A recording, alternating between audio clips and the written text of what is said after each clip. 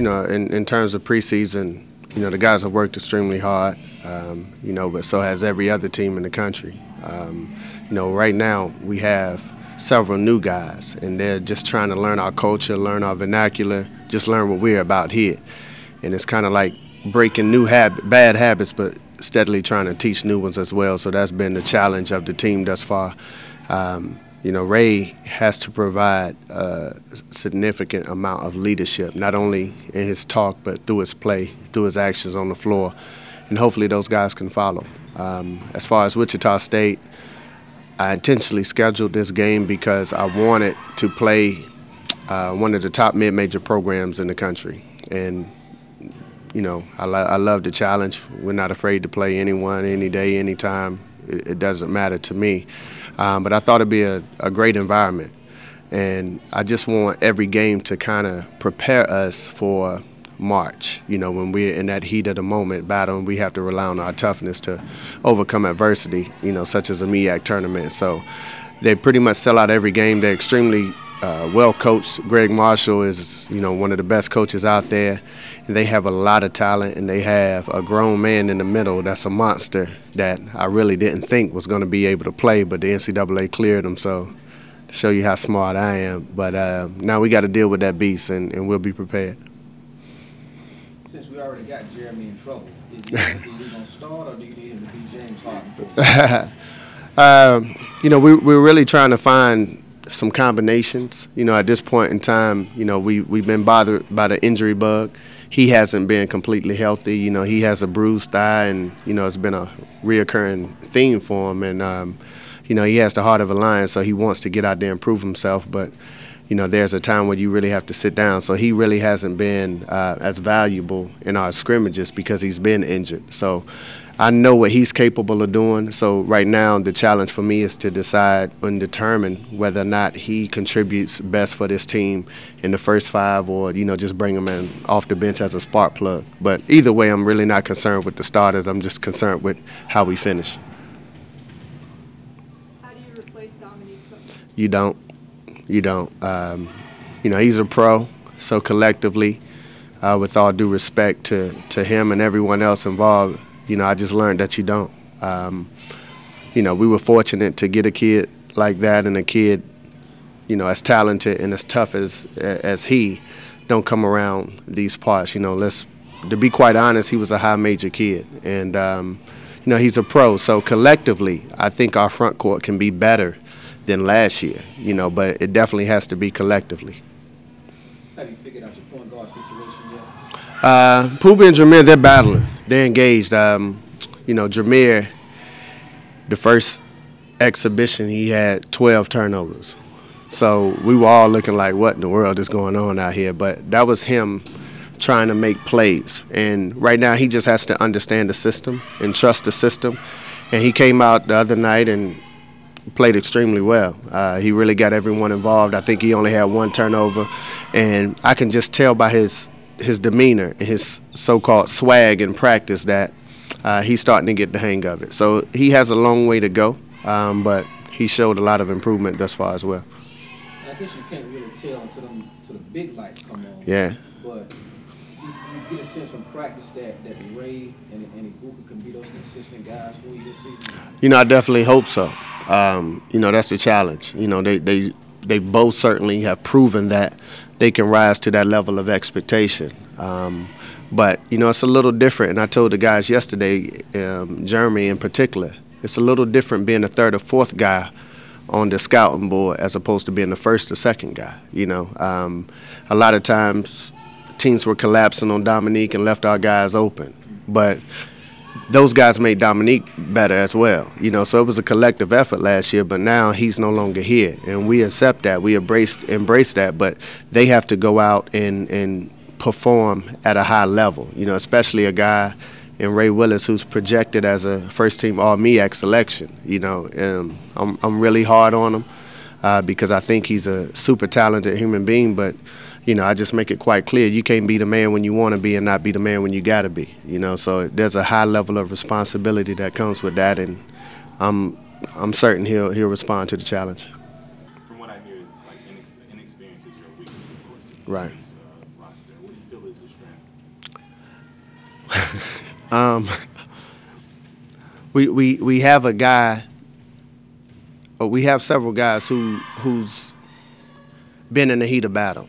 You know, it, it doesn't it doesn't get bigger than you know the A and T rivalries in that atmosphere. It doesn't get bigger than you know some of the shots Jeremy made last year was huge. Uh, some of the shots Ray made last year was huge. So those guys bring a significant amount of experience back. But you know overall, our strength is our strength could possibly be our depth, um, but we have to go out there with those live bullets so I can you know further evaluate these guys even more because I said, listen, I don't know you like that.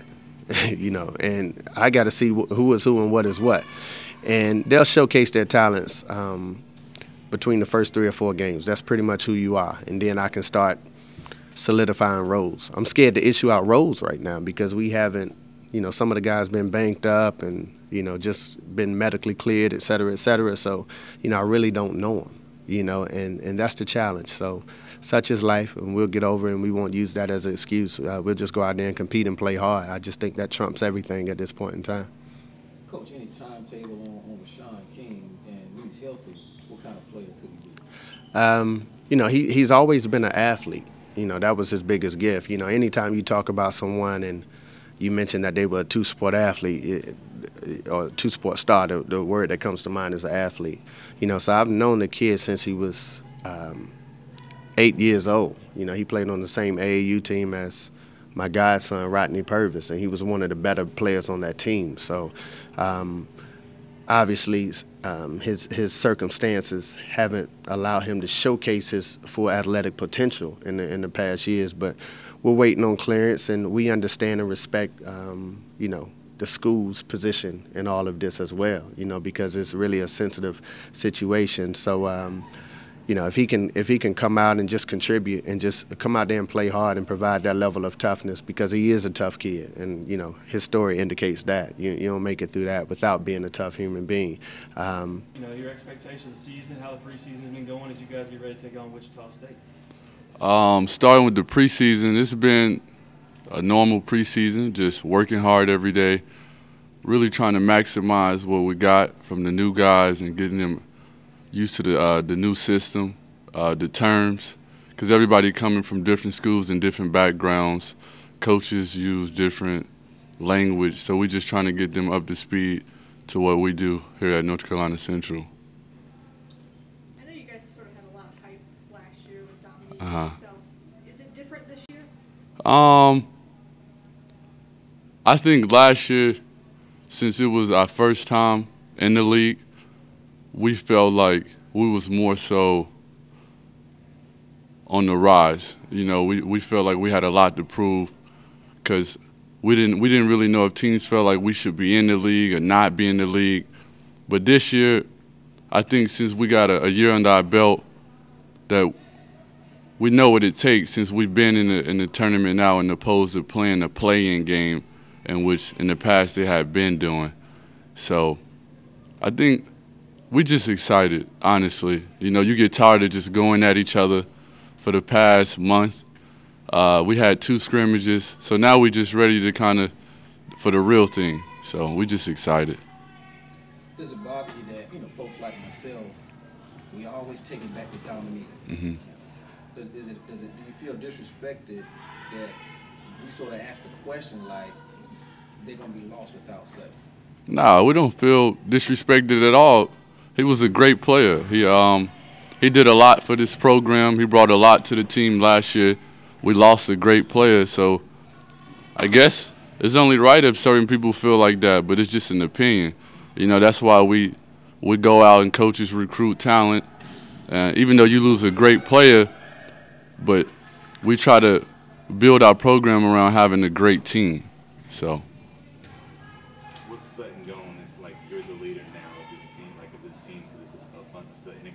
Mm-hmm. So have you, how have you prepared for that? Um, I think Sutton did a great job with the guys that we have coming back.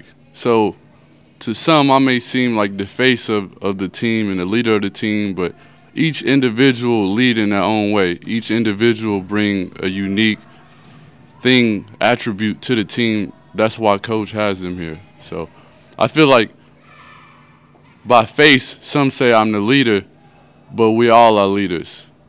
You know, in fact, I think some of the best leaders lead from behind and learn to learn by serving the people. So I just try to do whatever I can to help my teammates. I know last season, man, we watched you have some really great games, but but the consistency wasn't there. Mm -hmm. Is that something that you've been mindful of in all season? Um, I think that comes with just game experience. Last year was kind of like my first year playing a lot of minutes. So, like you said, that consistency was going in and out because for me it was it was something new too, playing 30 plus minutes. So I think with having a year under my belt and being able to come back, being able to pick my spots now, um, and just just playing those minutes. That's all it is. Some stuff it just take experience. So I think I got that last year. Um, understanding Rashawn King's story, man, does, does he make you guys work a little bit harder, just understanding what his situation is? You know, Rashawn King is a great guy, especially once you get to know him. And um, I think some people hear that and they just be motivated for the moment. But for us, guys that get to see him day in and day out, and you practicing, and you might you might feel a little fatigue from the day before, or exhausted from practice, being two hours in, and then you look to your right and it's a kid that'll give anything to be out there. And so we play for Rashawn, we play for people back home, we play for everybody that didn't have the opportunities in which we have now. So I think we're fortunate to have a guy like Rashawn King a, a part of our team. Jeremy, if you could uh, just talk about the preseason and, and what you've done to get ready for, for your third year here at NCCU. Um, if I could talk about the preseason, I would say um, it was a really grueling preseason, very hard working. Um, kind of the same as last year, except we pushed ourselves a little bit harder, seeing that we lost Dominique Sutton, and everybody got to go harder at what they do. So that's what I can say about the preseason.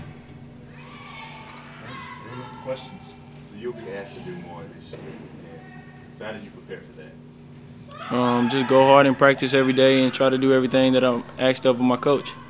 That's all I can do. You came on strong, particularly at the end of the season, and one of the things Coach Moore talked about was, you know, that that kind of grit that you came with. Talk about your style of play and how you're going to use that to uh, lift your team this season. Um, well, last year I had a role to bring energy off the bench and just um, offensively and defensively, whether we needed it on either end of the court. So I just tried to bring that. But um, this year, I would like to bring the same energy, but from the start of the game. So, so you're going to be starting this season? Uh, that's what I'm looking forward to, starting. Yes.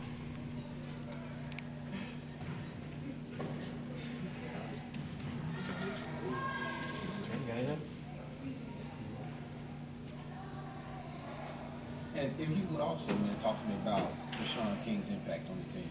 Oh, Rashawn King, um, well, actually, his story is amazing. Um, he's a very strong kid or individual. We didn't say kid. We're in the same level, but um, yeah, he's a very strong individual as far as what he's been through.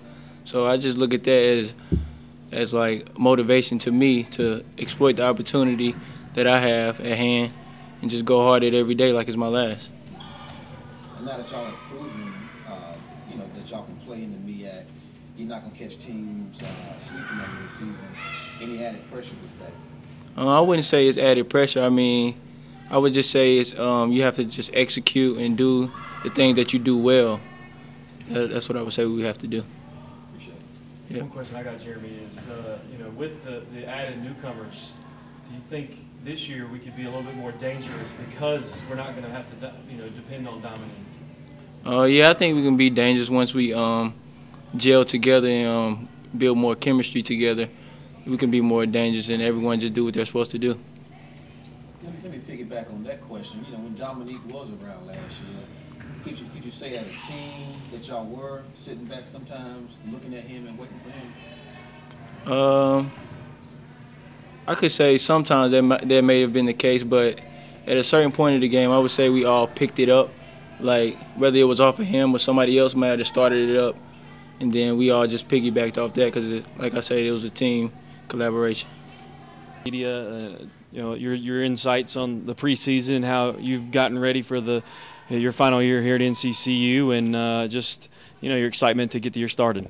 Uh, preseason, um, we went hard every day.